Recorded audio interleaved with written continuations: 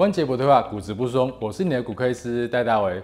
这是二零二二年美国骨科学会所发行的退化性膝关节治疗指引的第二支影片。那在上一支影片呢，我们有探讨了自己在家里面要怎么样做关节的自我保健，以及物理治疗附近啊，到底哪些是有效的治疗。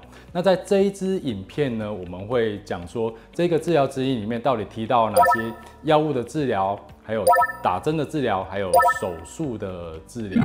那在药物的治疗方面呢，到底哪些药物是有效呢？它里面有提到两种。那第一个当然就是。乙酰氨酚，也就是我们俗称的普拿疼。那这个普拿疼的成分呢，它是镇痛解热，但是它并没有消炎的效果。但是呢，根据研究，它对于退化性关节炎的疼痛也会有止痛的效果。那毕竟它比较不会伤胃，比较对肾脏的肾功能比较没有影响，所以这个是第一线建议使用的药物。如果你的疼痛不是很严重的话，我们都会建议使用乙酰氨酚来做一些止痛的使用。第二种药物就是消炎止痛药，消炎止痛药可以在体内抑制发炎，让我们的关节不要因为关节退化那些软骨磨损，所以一直发炎。理论上可以减轻关节炎的疼痛。那但是呢，消炎止痛药它长期使用就会比较伤胃，那另外也对肾功能也会有影响。那目前现在有比较新型的消炎止痛药，它是长效型的，它也比较不会伤胃的，所以我们通常都是用这种新型的消炎止痛药，在有需要的时候使用。那另外再搭配乙酰氨酚，也就是普拿疼，来让这个患者在急性发作的时候可以使用一阵子。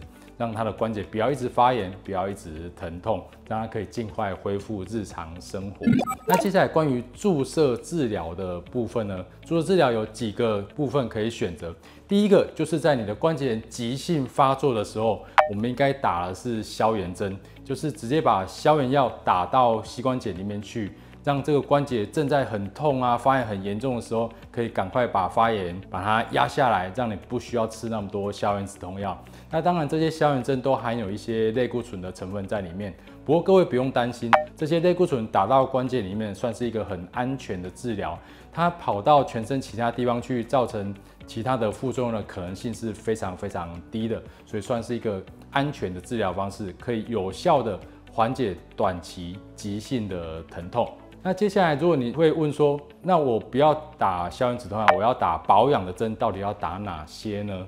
那根据这个指引呢，你可以考虑高浓度血小板血浆，也就是 PRP。PRP 呢，就是抽你自己的血以后，去把血液纯化一下，把里面的血小板的那一部分拿出来。那血小板里面呢，就是富含有生长因子，然后我们再把它打到膝关节或是。分别打到发炎的部位，那在那个地方它就可以调节发炎，促进修复。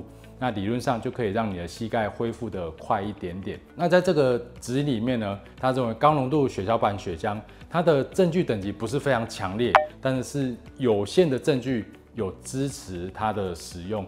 所以各位如果经济上不是问题的话，是可以试试看。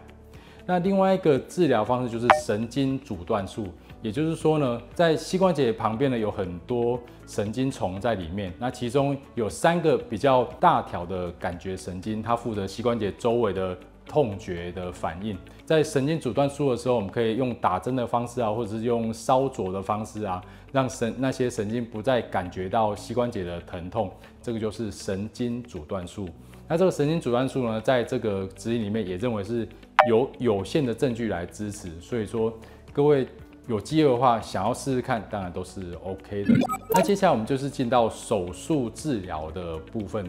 那手术治疗大家都知道，在最严重、最严重的人工关节，最后当然就是只能换人工关节的。那除了换人工关节以外，当然还有其他一些手术的选择。这个就是在你的关节还没有整组都坏光光的时候可以考虑的。第一个就是，如果你有运动伤害的话，里面有半月板损伤啊，半月板破掉，有些碎片在里面啊，如果没有办法缝起来，也可以考虑就直接做关节镜手术，就是一个微创手术，把它拿掉，半月板的碎片就不会在里面一直刺激局部的组织，造成发炎，渴望也可以减少积水啊，减少膝关节肿胀的可能性。那另外一个手术呢，就是截骨矫正手术。那因为有些人他是 O 型腿，有些人是 X 型腿，所以膝关节的软骨它的受力并不是很平均。那截骨矫正手术呢，就是在脚上面切一刀，脚把它弄直，然后再打一个钢板，让你的膝关节的内外侧可以平均受力。这个在这个指引里面也是说它是有限证据支持，那这个手术是有效的。所以呢，各位如果是年纪不是很大，退化又不是很严重，但是呢却有 O 型腿、H 型腿这种问题呢，不妨可以考虑试试看这一种手术。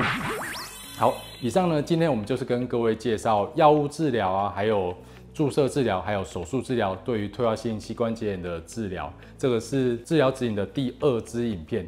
那在第三支影片呢，也就是最后一支影片，我要跟您说哪些治疗是没有效果的。如果你喜欢这支影片，而且觉得这支影片对你有帮助的话，记得按赞、订阅，并且分享给你的朋友。记得要开启小铃铛哦。我们下次影片再见，拜拜。